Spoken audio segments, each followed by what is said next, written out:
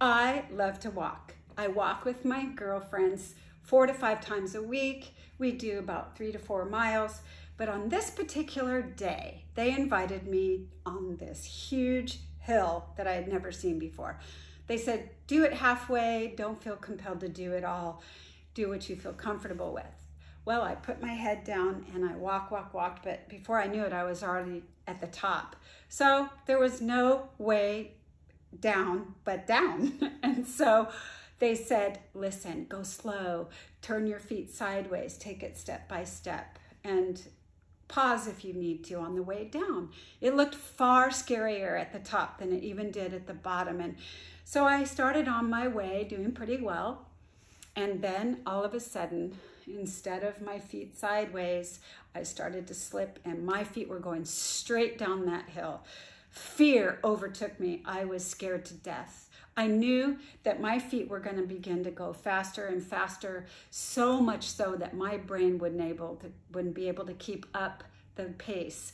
I was so scared, and my friends, instead of thinking that I was out of control, started yelling, Yay, Summer, way to go! You're doing so good. Look at her go. She's running down the hill. Boy, she's awesome. No, no, no, no, no. I was scared out of my wits.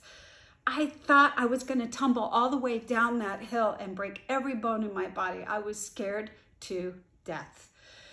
Then something curious happened a voice came in my mind. I call it the voice of reason from God. And it said, move over to the side and dive into those bushes to drop, make yourself stop.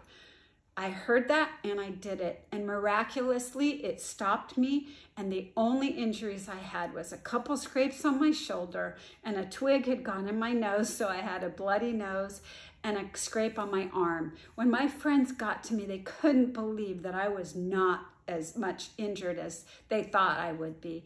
I was even able to get up and walk all the way back to my friend's house. It was a sheer miracle. I have learned to lean in to that voice of reason that I call my God. I believe that I can be kept from all harm if I just listen, listen good, and pay attention when, when God wants to lead me away from harm. When I'm uh, given choices for temptation or trials or to do the right thing, if I lean into that voice of reason, I know that I will never be led towards harm, but away from harm. And not only for my benefit, but for the benefit of everyone around me. Thank you.